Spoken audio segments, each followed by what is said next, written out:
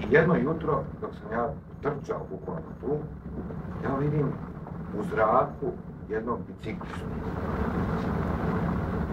Onda sam mislio da haluciniram. Ja sad trčim brzo, sad snajper ima s ove strane, s ove strane. Ja trčim i ovako kako trčim vidim biciklistu. U zraku. Toliko me to šokira da ja dođem tamo preko puta, kod te pošte, tamo kod pozorišta, i sakrijem se ovako iz jednog čoška i provirim da vidim šta je to bilo.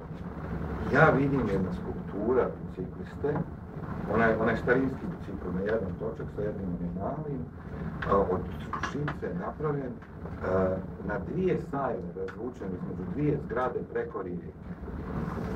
To je izgledalo stvarno čarobno.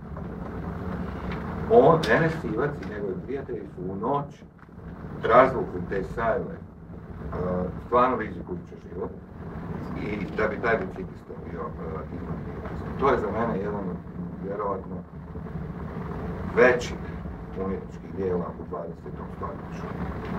A, tako da Enes danas radi druge stvari i, ja sam ga zamolio onda da on i ova njegova mlada koleginica Maja Matežin da naprave tu skulpturu gdje stoje ovi svi tehnološki kontejneri, jel, ovi, a, a, Apple računari i tako.